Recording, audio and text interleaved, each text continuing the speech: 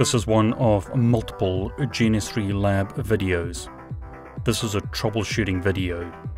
The GNS3 topology and troubleshooting setup is available below this video.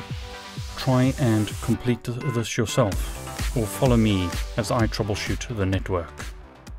In this lab, we told that we need to troubleshoot issues as much as possible without using the show run or show start commands. In other words, don't cheat. Don't just do a show run and look for problems. Try and use debugs and show commands and other options to find specific issues in the network. Only use a full show run or show start as a last resort. Okay, so back on router 1 show interface serial 2 slash 2. Interface is up, down.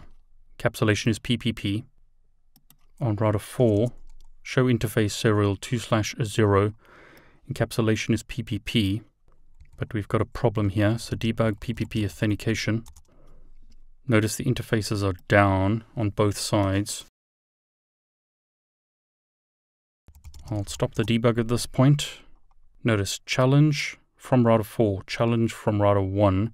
So they both are using CHAP. Authorization is required. Unable to authenticate the peer. So we've got a authentication problem. Show run interface serial 2 slash 2. That looks okay. Both are using PPP CHAP. Show run pipe include username show run pipe include username. Can you spot the problem here? What's the problem? Notice router 1 has a database that includes router 4, but router 4 doesn't have a database that includes router 1.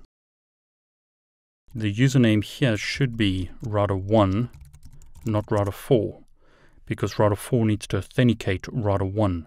Notice as soon as I added that username to the local username database, the interfaces come up.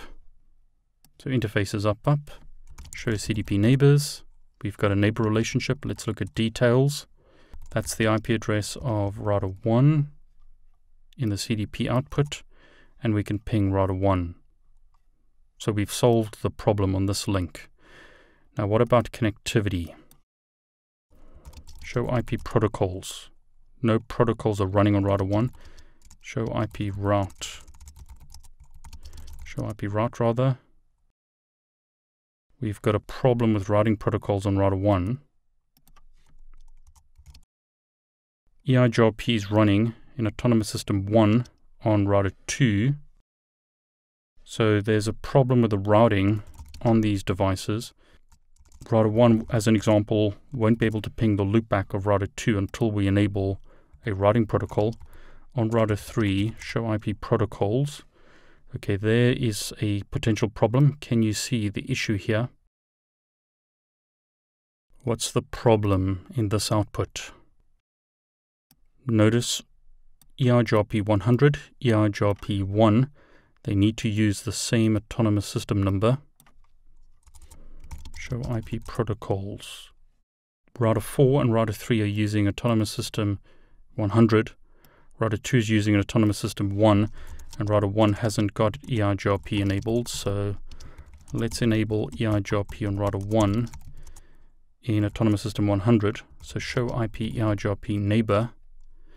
We've got one neighbor relationship at the moment, which is to Router 3. So on router 2, we need to change this autonomous system number. So no router EIGRP1, router EIGRP100. Network and enable it on all interfaces. So that looks better.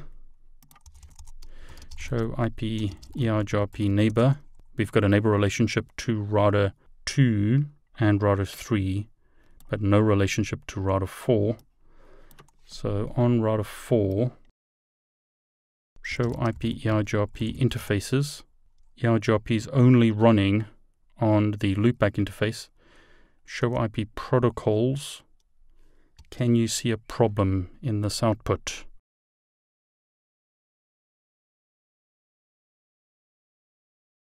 Router 4 has got an interface serial 2 slash 0 to router 1. What's the problem here? Notice this passive interface.